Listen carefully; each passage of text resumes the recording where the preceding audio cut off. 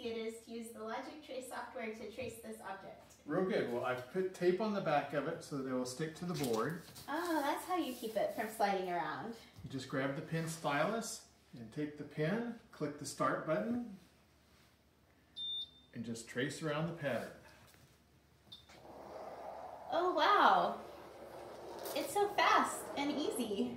Well, good. Okay, now click stop and we can do the next part. Do you have any other questions?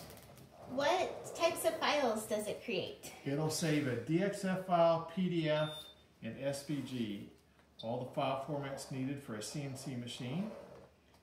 Does it work on any other types of machines?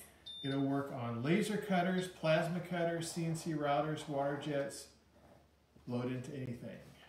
And what computers will it work on? Runs on Windows 10, Windows 11 computers, and it'll also run on an Apple Mac. Oh look, oh, all done. That was so easy. Let's go ahead and save the file.